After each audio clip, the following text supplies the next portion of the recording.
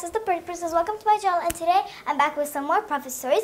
Today's prophet story is going to be about Prophet Joseph and Prophet Jacob. Let's get on with the story.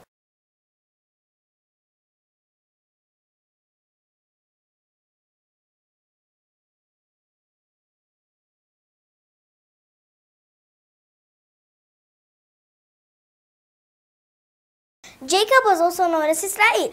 Uh, Israel's children could see that uh, Joseph was their father's favorite. They became very jealous. They became so jealous that some of them actually wanted to kill him. The jealous brothers finally decided to throw uh, Joseph into a deep, deep well. They went to Israel, their father, to ask if they could take Joseph out with them. They said they would go to, they said they would go teach him to be a great shepherd. Israel would, would not let Joseph go because uh, he thought that the others were trying to do something bad. One day, Joseph went to Israel. He said that he had a strange dream. In the dream, Joseph said that he saw uh, the sun, the moon, and 11 stars bowing down to him. Uh, Israel felt like that uh, the dream was sending a message. He thought that uh, Joseph would have a great future.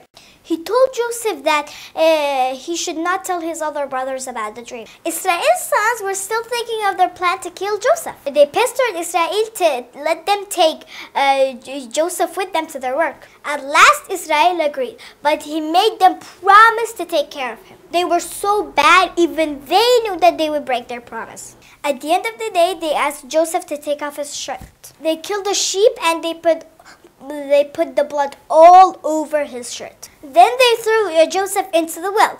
They went home and showed their shirt to Israel. Pretending to be very upset, they told their father that Joseph got left behind and got eaten by a wolf. Israel was very upset, but he did not believe the story. Uh, Israel knew that uh, one day God would bring uh, Joseph back to him. Poor Joseph spent the night in the well. The next morning, when someone put the bucket in the well, uh, uh, Joseph sat on it. The man had to get help to pull uh, it, the bucket up. He was very surprised to see a boy in the bucket. The man was a merchant. The merchant decided to take uh, Joseph with him to Egypt and sell him as a slave. When they arrived in Egypt, one of the noble families decided to buy Joseph. The man who bought him told his wife that they should take care of him because he was a good looking child and they had no child of their own. Uh, so he became one of the, uh, the members of the family. I hope you guys enjoyed this video. If you did, give this video a like and don't forget to subscribe and turn those bell notifications on because next uh, episode of the Prophet Stories is going to be really exciting. I'm only going to be talking about Prophet uh, Joseph uh, himself and I'll see you guys in the next video. Goodbye!